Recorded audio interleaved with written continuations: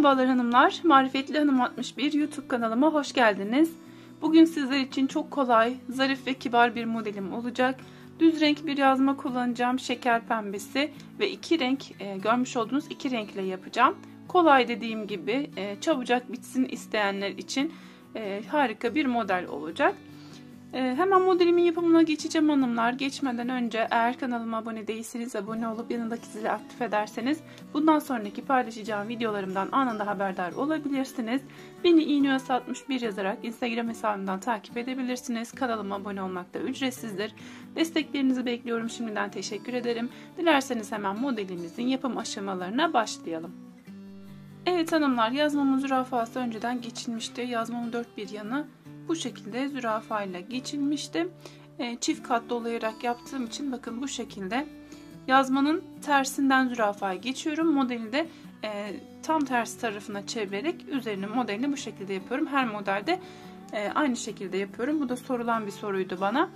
E, bakın çift doladığım için yuvaları daha da belirgin gördüğünüz gibi daha kolay yapılıyor bu şekilde. Şimdi krem rengi ipimi kullanacağım. Hemen zürafamıza sabitleyerek başlayalım modelimizin yapımına. Öncelikle şöyle iki tane zürafa boş olarak yapacağım.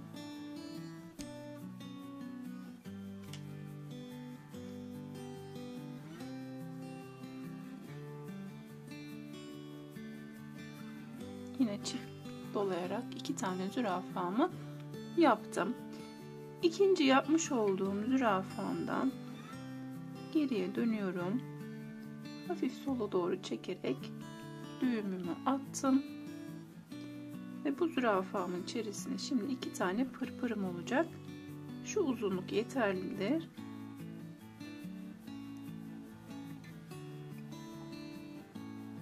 Evet. İkinci pırpırım. Şimdi zürafamın içerisine aşağıya iniyorum. İnmiş olduğum bu kısmı saymıyorum. İki tane normal zürafa yapıyorum.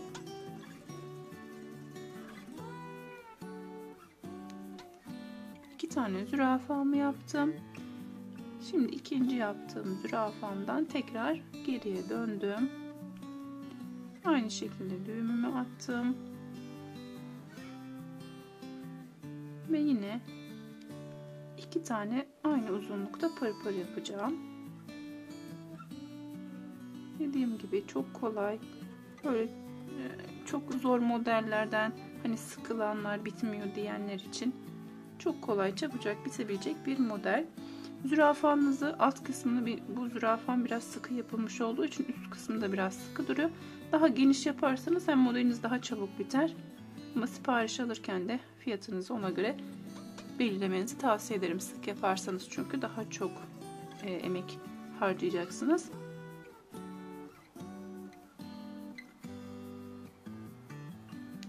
Şöyle bir ve ikinci zürafamın yanına yapıyorum.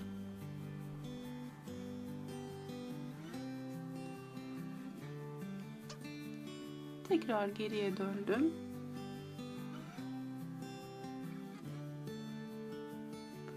Devam ediyorum. İki renk kullanacağım hanımlar. Ee, bu yüzden de düz renk yazmalarınızda bu modeli tercih edebilirsiniz.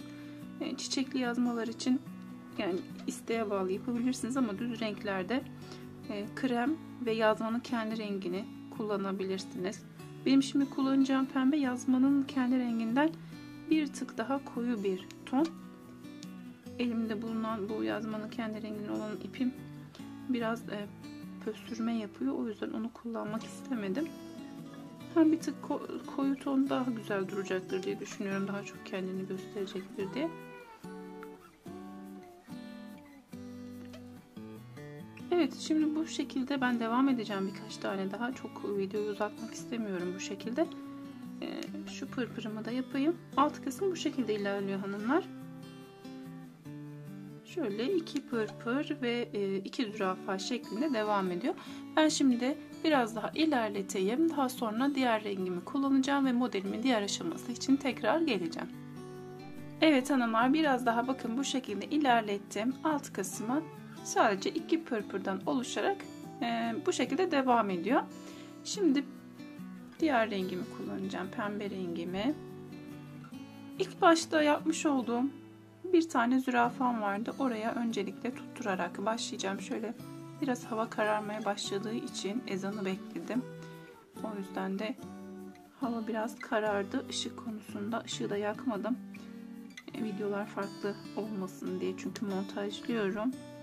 Birinde farklı birinde farklı çıkmasınlar diye ışığı yakmadım. İnşallah net görünüyordur. Şöyle. Bakın birinci yaptığım zürafanın başına ipimi bağladım. Buradan karşıya geçiyorum.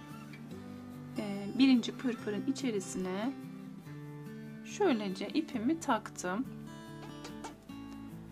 Ve diğer pırpıra geçerek bir tane zürafa oluşturuyorum. Bu şekilde bir zürafa oluşturdum. Zürafamın içerisinden geriye dönerek ortalayarak bir düğüm atıyorum. Çok fazla sola yaklaştırmıyorum düğümümü. Ortaladım ve düğümümü şöyle atıyorum. Şimdi yine aynı yere bir kez daha batarak bir pırpır oluşturacağım. Pırpırımın boyutu çok uzun olmayacak şekilde şu yeterlidir. Şöyle bir pırpır oluşturdum. Şimdi şurada aşağıya inmiş olduğum zürafaya değil de tek bir zürafa var. Ee, bu kısma ben iğnemi batırıyorum ve ipimi bağlayacağım. Çok e, bol da tutmayacağım. Çok gerdirmeyeceğim de. Şöyle bakın şu üst kısmı elimle tutarak buraya bu şekilde ayarlıyorum. Bakın mesafesini şöyle göstereyim sizlere. Biraz kavisli duracak şekilde.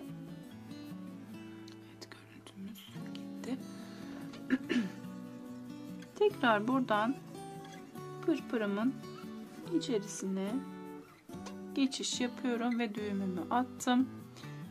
Ee, ben bunun rengini ayarlayacağım inşallah. Biraz karanlık çünkü şu anda. Şöyle. Yine diğer pırpıra geçerek bir tane zürafamı oluşturuyorum. Buradan tekrar geri döndüm. Ortalayarak dediğim gibi düğümümü atıyorum.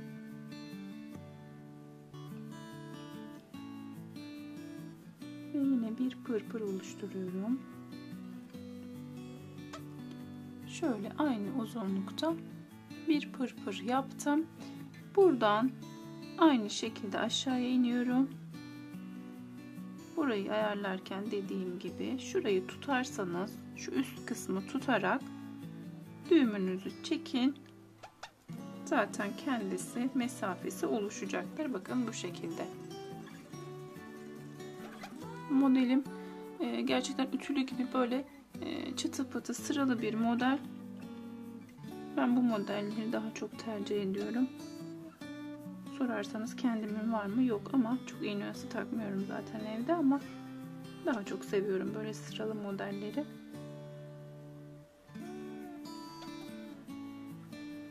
Yine aynı işlemi yapıyorum. Kolay da ilerleyen bir model. Dediğim gibi böyle iki günde, e, üç günde rahatlıkla hani yeni öğrenenler için diyorum. Rahatlıkla üç günde bitirebileceğiniz bir oya hanımlar.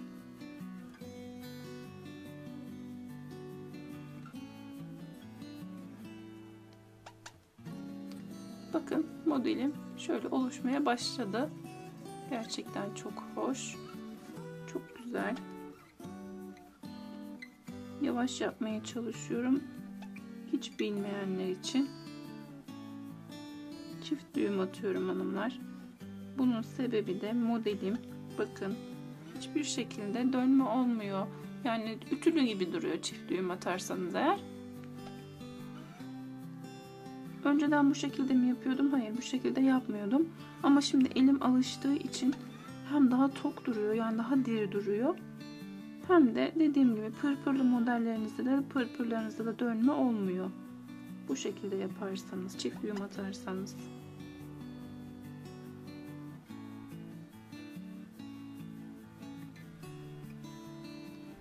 Evet bu kısmı da tamamladım. Şimdi bir dört tane daha kaldı. Sanırım yarıladım burayı. Şimdi ben burayı da tamamlayacağım. E, bu dört taneyi de kamera arkasında yapacağım ve modelimin bitmiş haliyle tekrar geleceğim hanımlar. Evet hanımlar modelimi bu şekilde tamamladım. Şöyle göstereyim bakın. Ee, çok şık çok güzel bir model oldu gerçekten. Ütü basmadığım hali bu. Çift düğüm attığım için kalıp gibi durdu gerçekten. Ee, bir de ütü basarsanız düşünün daha da güzel duracaktır. Ee, umarım sizler için faydalı bir video olmuştur. Umarım açıklayıcı bir anlatım yapabilmişimdir. Kanalıma ücretsiz bir şekilde abone olmayı unutmayın lütfen hanımlar. Destekleriniz benim için önemli. Hepinize çok teşekkür ederim. Kendinize çok iyi bakın. Allah'a emanet olun. Hoşçakalın.